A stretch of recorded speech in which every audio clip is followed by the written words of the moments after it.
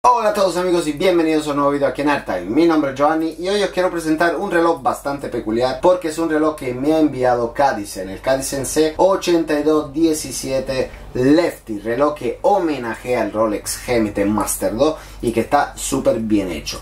Un reloj que cuesta dura apenas 100 euros, así que gasto mínimo, pero que realmente ha respondido muy bien tanto al agua como a la precisión, a todo chicos. Me ha gustado y sinceramente creo que tiene unos materiales muy muy buenos. Así que nada, vamos a verlo, el que está interesado, veamos el vídeo y ya ustedes me dicen abajo en los comentarios qué les parece este reloj. Chicos, si el vídeo les gusta, like, si no están suscritos al canal, suscríbanse y vayan a verme en Instagram porque he puesto fotos de todos mis relojes con diferentes correas.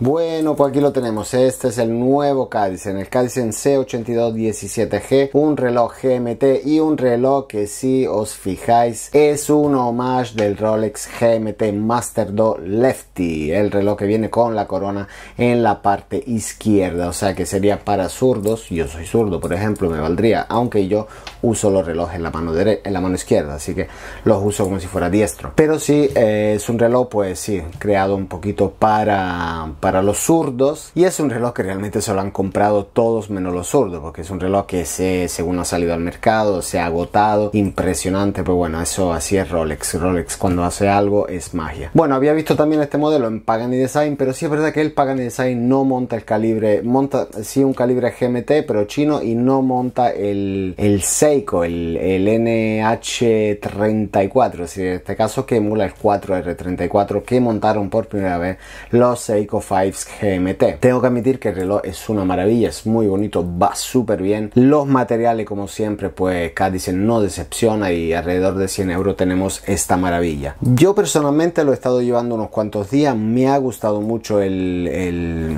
la presencia que tiene el reloj, tiene mucha presencia, tiene mucha calidad, las medidas son buenas, me gustan y de hecho os voy a comentar un poquito, voy a hacer un zoom y os comentaré un poquito lo que es el tema de las medidas. Como medida tenemos un diámetro de 4 40.2 si contamos desde las 3 hasta las 9 o sea contando con esta corona tenemos 45 milímetros. El actual no es demasiado grande ya que contamos con 48 milímetros. El grosor es de 13.1 o sea que diver. Y tenemos para la correa 20 milímetros. Así que si queremos cambiar correa es una medida bastante estándar. Más cosita que tenemos pues tenemos una caja en acero inox 316 cepillada en la parte superior y pulido en la parte lateral. Tenemos un cristal de zafiro con ciclope aquí a las 9 la verdad que se me hace raro ver la fecha y el ciclope aquí a las 9 cristal de zafiro ya sabemos que siempre nos ofrece cristal de zafiro un brazalete pues macizo, tanto los finales como lo que son los eslabones son macizos. Aquí tenemos un cierre de muy buena calidad, tengo que decir. El cierre me ha gustado mucho. Si queremos extender, está un poco duro, ¿eh? pero si queremos extender lo que es el brazalete, tenemos que tirar esto arriba y jalarlo para atrás y se nos extiende el brazalete. Así que yo creo que genial esto. Y luego lo cerramos. Perfecto, aquí abajo se nos pasa 16 milímetros en la parte inferior del brazalete. El brazalete es completamente pulido, así que a mí me ha agradado mucho. La verdad que me está un poco dificultando el hecho porque siempre lo, tengo así, digo, ay no, que es al revés. y siempre tengo que darle la vuelta al reloj. Tenemos más cositas chicos, pues tenemos un inserto de bisel de cerámica de dos colores. Tenemos en la parte baja verde y en la parte superior negro. El bisel es unidireccional de 120 clics, el agarre es bueno, se fija bien, no está suelto, no baila, sino lo justo que tiene que bailar es en medio milímetro o cuarto de milímetro y es verdad que se queda muy bien alineado, aunque yo no lo he alineado bien y lo voy a alinear bien porque si no me pone de los nervios. Perfecto. Más cositas, tenemos un calibre interno, como dije antes, NH34, 21600 alternancias horarias y tenemos la función GMT en este reloj que se controla con la corona. Tenemos que destornillar la corona, tenemos corona de rosca, firmada también, Cadisen. Sacamos una vez para usar el... Ah, bueno, que no la he destornillado todo.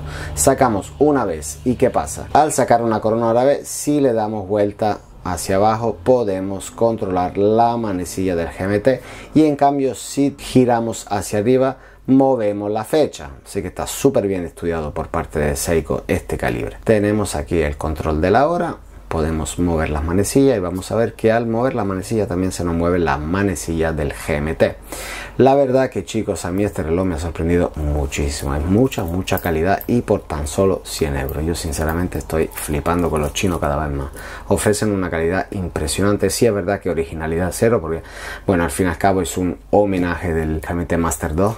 Pero chicos, es que me parece tan absurdo a veces que por 100 euros sean capaces de crear algo así, bueno, es impresionante. Y nada, así es como queda en la muñeca este reloj de 40 milímetros, el actual, como os decía, es de 48, así que queda súper bien. La verdad que me gusta mucho verlo en la muñeca. Y bueno, y cuando ya llevas uno de estos te, dan unas ganas de comprarte el Rolex verdadero que flipas. Pero bueno, tener 20.000 euros para comprarlo, pues ya es otra cosa. Pero wow, impresionante. Y nada, voy a probármelo también. Si hay algún zurdo aquí viendo el vídeo, algún zurdo como yo, me lo voy a probar aquí en la muñeca derecha, la de los tatú. Y así es como queda en la muñeca derecha que sería ya un poco más con la corona aquí. Pero bueno yo me veo raro eh, con el reloj en esta en esta muñeca. No estoy no estoy adaptado. Más cosita amigos que tenemos este reloj. Pues tenemos 200 metros de resistencia al agua. Yo me fui a dar un super baño con este reloj el reloj no le ha pasado absolutamente nada.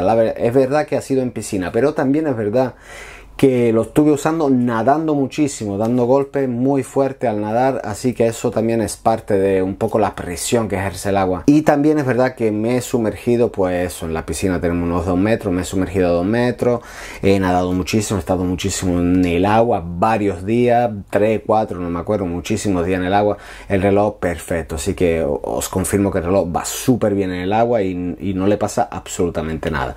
Otra cosita positiva ha sido la luminiscencia, la luminiscencia es perfecta, se ve súper bien, así que yo también en este caso contento. Y ahora quiero mostraros un poco este dial porque también aquí han hecho un muy buen trabajo. Tenemos índices aplicados tenemos lo que es el reo dentro con la escrita Cadizen y aquí imitando totalmente a Rolex. Pero bueno aquí en este caso wow son, son detallitos que también están empezando a, a tener ellos y a ver también en los relojes pues los de verdad como digo yo pero sí, cada vez te ofrecen más cositas y, creo que es una buena opción para alguien que a lo mejor como yo no se puede permitir un Rolex GMT Master 2, aunque si, os soy sincero, prefiero comprarme otras cositas si, si, si, no tengo el dinero, quizá casi un Orient o algo así. Pero bueno, también a veces si me ha apetecido tener uno de estos, he comprado ya varios, unos cuantos, antes de que se me los enviara o, o Pagani Design, he tenido muchísimo de estos. Y sí, la verdad que a veces apetece, son looks que te apetece tener la muñeca, disfrutarlos y oye, ¿por qué no? No pasa nada. Y nada chicos, esta ha sido la breve reseña que he hecho yo de este, de este Cadisen C8217G.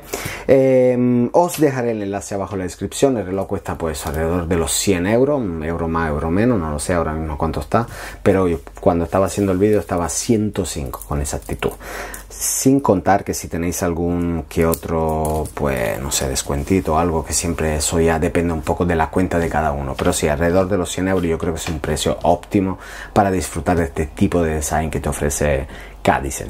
Y chicos, sin más, sin más dilación, pues esta ha sido la reseña del Cadisen. Si les ha gustado el vídeo, por favor, like. Si no están suscritos al canal, suscríbanse y vayan a verme en Instagram, porque ahí he puesto fotos de todo mi reloj con diferentes correas.